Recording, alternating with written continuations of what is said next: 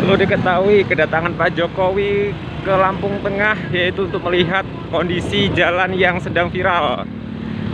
Akibat di viral di media sosial, ini jalan antara apa rute dari Simpang Randu sampai ke Kecamatan Rumbia, Semelandu Seputi banyak. Jadi posisi ini mau ke SP13.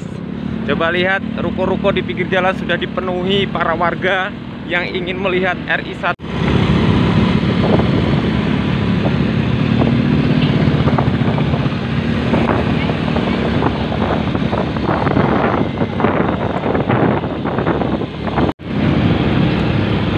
ini keramaian di jalan eh, dari Simpang Randu Seputi Banyak sampai ke Rumbia untuk menyambut kedatangan RC RI 1 Bapak Joko Widodo.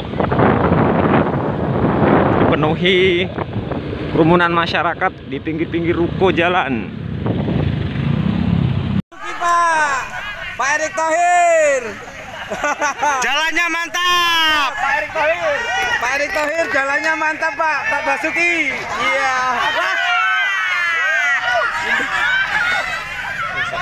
Waduh Pak.